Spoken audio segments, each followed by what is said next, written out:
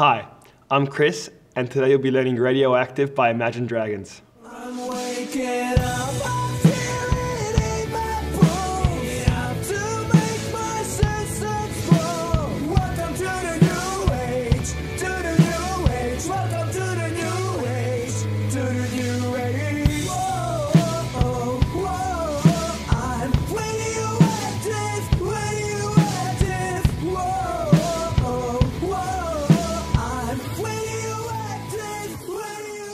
The challenge to learn this drum beat is all within the rhythm. If you're having troubles reading this rhythm, I really recommend going back and watching the previous four tutorials of this series as they explain everything about eighth notes and quarter notes in order for you to read this rhythm. The first and most important step for this tutorial is to clap and say the rhythm out loud. I'm going to demonstrate that now. One, two, and three.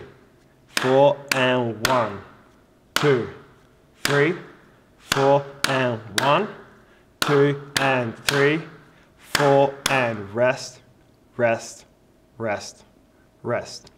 The other way you may have learnt this rhythm is using tars and TTs. That would sound like this. Ta, T, T, ta, T, T, ta, ta, ta, T, T, ta, T, T, ta, T, T, za, za, za, za. It's very important for you to say and clap this rhythm before you move on, as it's going to get trickier when you start to convert it into the drum beat. Now, if we look at the sheet music below, you'll notice all this drum beat is made up of is bass drums and snare drums. However, it's very easy to get lost when trying to count and play this beat out loud. I'm now going to play the drum beat for you, and I recommend for the first time listening, you just clap along to make sure your rhythm is the same as mine. Then go back in the video and listen to my play along again, and the second time I want you to also play. Here's what the drum beat sounds like. One and two and three and four and one and two and three and four and one and two and three and four and one two and three, and four, and. It's now time to play with the backing track. Here's what it sounds like.